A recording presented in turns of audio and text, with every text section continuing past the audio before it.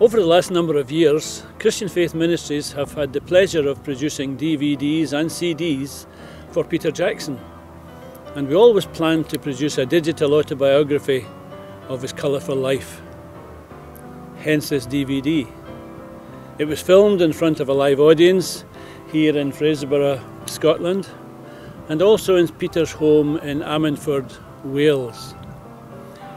I'm sure you'll be moved by the poignant memories of his earlier years, but you will also be teased by his subtle sense of humour.